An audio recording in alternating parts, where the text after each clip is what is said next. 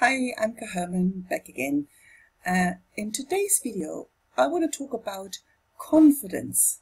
Again, uh, if you've seen earlier videos, you know I've talked about this topic before, but today I want to come at it from a different angle.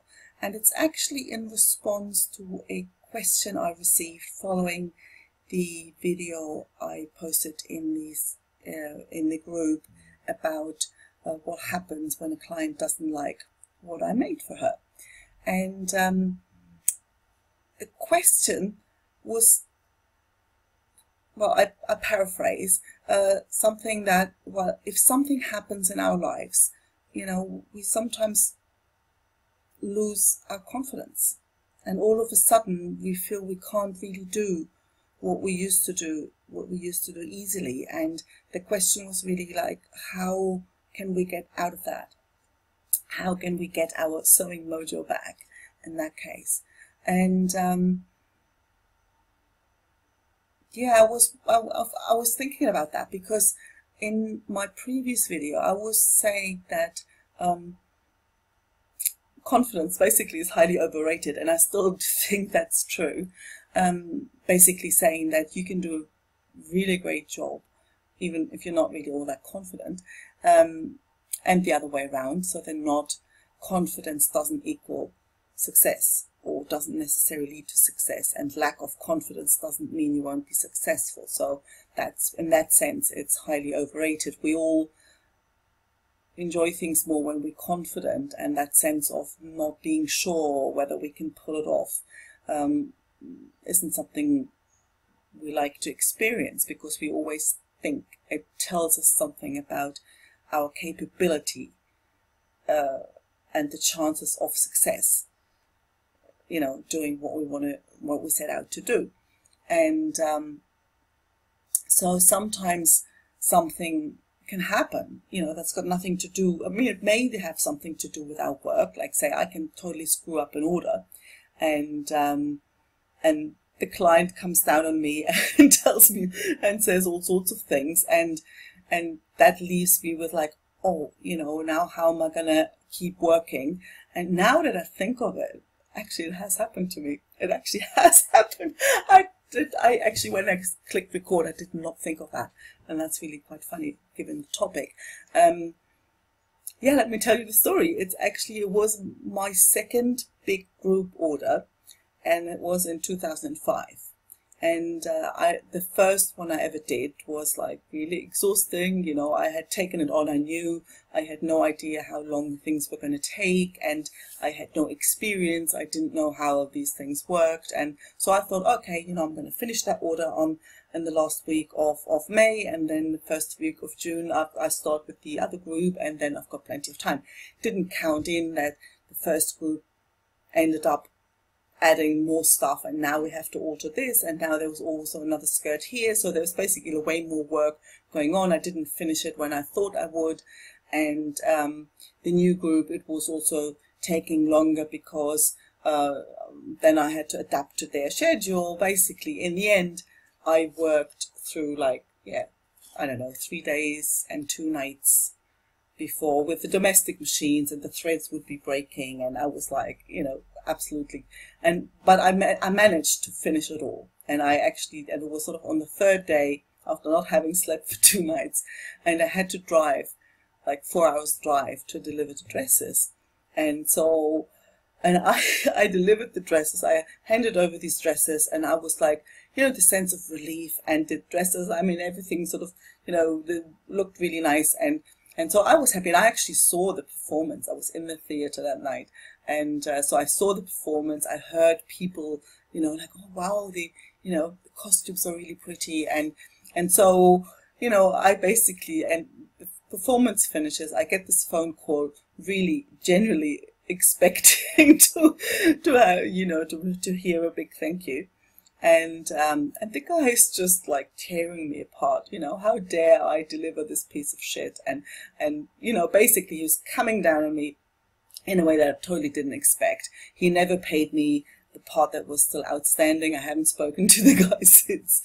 And so, yeah, so that was like really, that was pretty much the first, the second big order I did, you know, and yeah, I was really shaken. I was really shaken. I was like, oh, now that was kind of, there we go. That was my sewing business. There goes my sewing. That's what I thought. Like, I thought, there goes my sewing business. Who, I mean, Granada is a small place, you know, it's, it's like, I thought, who is to order anything after that? And, and, you know, and then everybody was to talk about it. And so, like, tomorrow, everybody's to know. And I didn't even know what was supposedly wrong with these dresses, but, um, um, I mean, then who cares? And I also thought, like, if he started bad mouthing me, and then I remembered when we even were in the car fabric shopping together, I remembered him really bad mouthing some other dressmaker that he'd worked with, and uh, so I thought, oh, okay, so that's apparently his trick. But um, so yeah, that really left me with that. So I don't know whether I can. How am I gonna, you know, keep going from here? And then another order came in, and I was like, all right, then, like, let's do this. And next client goes, oh, I love it, I love it. And, and so over time, I just sort of forgot about it.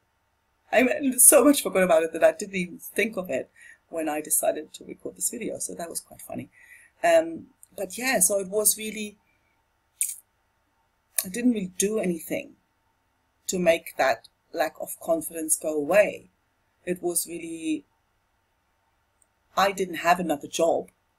You know, it wasn't that I kind of had another job in Spain. And so I was like, okay, you know, if somebody else orders something and apparently he didn't go around tell everybody, or at least whoever he told, they didn't really care much about it because it apparently quite obviously hasn't really impacted um, the way my business went.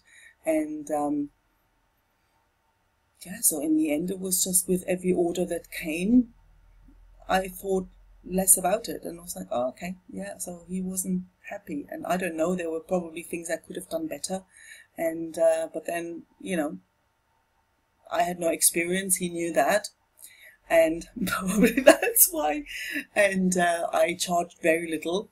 And so that was also one of those experiences. They don't buy your slack at all. Uh, low prices don't buy your slack. And so, yeah, the confidence sort of somehow slowly came back. But the point I want to make really is that confidence doesn't really have anything to do with whatever event happens in our lives. It reminds me a bit of of uh, how money worries have nothing to do with the amount of money you've got in your bank account. Like there's um there's a book uh, there's a book by Bruce Lipton who uh, that talks about the connection between um, our minds and memory and our body. And one of the stories he tells is how Will Smith uh, apparently wakes up every morning kind of freaked out about money. And I don't know if you're anything like me, you're like, what? You know, what, what on earth are you going to be worrying about? You know, with the amounts of money you've got in your bank account. But then apparently the story goes when he was really young, he started off as a musician and he made a lot of money really quickly and then had a really bad accountant and uh, the tax man took it all away overnight. So he's got like a residue kind of memory sitting there that um, is today the day I lose it all. And I've heard that from, you know, other, other and other stories and stuff. So that, that people who have a lot of money quite quite often still think it's not enough or or they're worried that they lose it all. And then on the other end, or the other extreme, I, I remember the uh, when I, I went on a on a trip to Peru, and it was sort of an offline, like, like off the beaten track kind of trip, where we were looking for transport. You know, we had an itinerary, we knew which places we were going to visit, but but it wasn't clear how we are going to get there. So it was like catch a bus or or, or, or find a car, someone who takes you there. And so we were going to go from one place to another, and it was either New Year's Eve or Christmas Day or something like that. And so our tour guide, he said, okay, I'm going to go and try and find a car. And he couldn't find one. And we're like, what? Because the, the amount of money we were, and it was, it was for the driver, it was going to be a four hour drive to take us to the place, and then he obviously had to go back. So for him, it was like an eight-hour day, and um, and nobody was interested. And we knew these people would basically in a day earn sort of enough to have food for tomorrow, you know. And we, you know, the whole budget, the way this was organized, was planned, was basically we were going to pay the guy uh, so that he wouldn't have had to wait to work the entire week, the entire following week. They were not interested. like the fact that he had no more money than to buy food for tomorrow if he was lucky. That was just was not a deal. There was just nothing to stress over, and so he was like, and and it wasn't just one guy. It was basically ten guys before we finally found one, and so ten guys. Basically, people didn't care. It was just not something to stress out over. If you if you have something if you may get some food tomorrow, that's cool. What more do you want? And I won't ruin my Christmas day if um, if that means, you know, even if that means I'll, I'll get money, like way more money than I usually usually make. So, like these examples make it really clear the amount of money is is just has nothing to do with any feelings of worry you may have. And I my point, and I'm arguing that confidence is the same. Confidence is is a sense of of insecurity, of mm, not sure, doubt, not sure whether I'm up to the task, and that's a thought, just like any other thought. It's fl- fleeting, it's flowing through, it's coming and going, and it